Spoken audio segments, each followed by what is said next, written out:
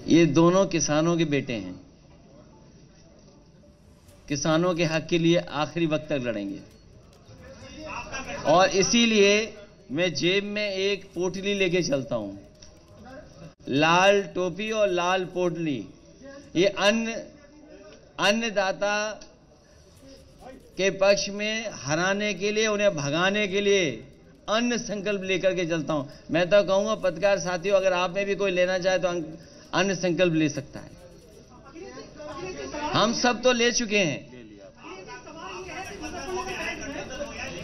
अन्न संकल्प ले लिया हमारे अध्यक्ष जी और सब लोगों ने।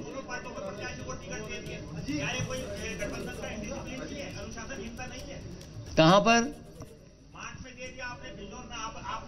ये हम दोनों बैठ करके तय कर लेंगे। बहुत जल्दी?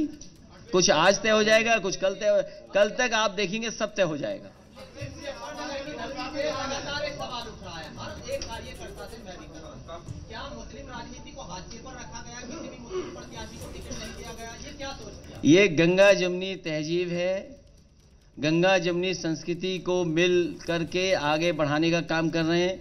नेगेटिव पॉलिटिक्स को खत्म कर रहे हैं। नकारात्मक पॉलिटिक्स को खत्म कर रहे हैं। और समाजवादी पार्टी आरएलडी मिल करके यहाँ सवाल ये नहीं किसको टिकट मिला, किसको नहीं मिला। हम दोनों मिलकर के किसानों के हक और सम्मान के लिए लगातार आगे बढ़ते रहेंगे, लगातार संघर्ष का रास्ता अपनाएँगे।